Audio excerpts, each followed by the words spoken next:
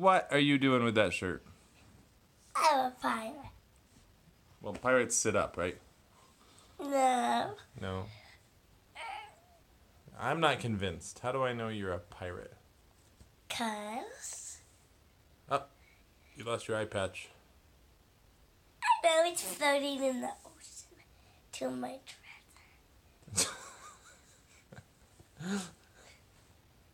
Ah, wait a minute. You're not a pirate.